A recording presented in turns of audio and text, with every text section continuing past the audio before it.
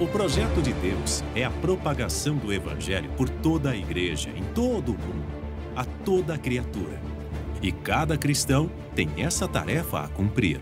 Alguém que conhecia Cristo me evangelizou e através dessa pessoa, hoje, graças a Deus, eu estou firme e forte na presença do Senhor e sinto privilegiada de ajudar outras pessoas a conhecer o Evangelho. A gente sempre vê na televisão as pessoas, né, dando testemunho que um é abençoado e outro é abençoado e o pessoal e o missionário sempre tem chamado essa atenção. E nessa eu senti o desejo de colocar minha empresa, porque ele sempre tem falado que tem colocado os patrocinadores diante das orações dele e Deus tem abençoado e tem multiplicado cada um deles. Que minha oração é que o cliente seja abençoado e o cliente dele seja abençoado também, para que todos nós devemos ser abençoados em nome de Jesus.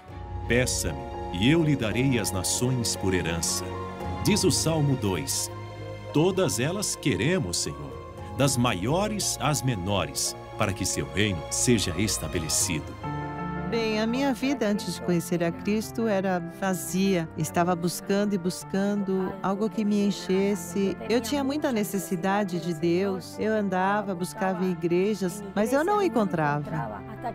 Até que um dia eu estava em casa procurando algo na televisão para ver que me interessasse e eu encontrei o show da fé com o Dr. Soares. E esse foi um dia que marcou a minha vida. Eu entrei e até o dia de hoje dou graças a Deus por ter me levado ao ministério da graça de Deus. Naquele dia desapareceu o vazio da minha vida e o nosso Pai Celestial veio encher o meu coração. E aos patrocinadores, porque são, na verdade, uma das principais colunas na igreja.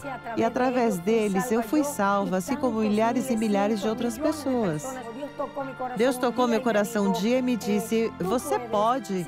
Ele sempre me diz isso cada vez que ele crê que eu posso fazer uma coisa, e eu, a partir desse dia, eu comecei a patrocinar a obra de Deus. Esse programa chega a muitas pessoas e, na verdade, isso é de grande valor. Graças te damos, Senhor, por esta obra ser tão eficaz e ter feito de nós mensageiros do Evangelho da Salvação.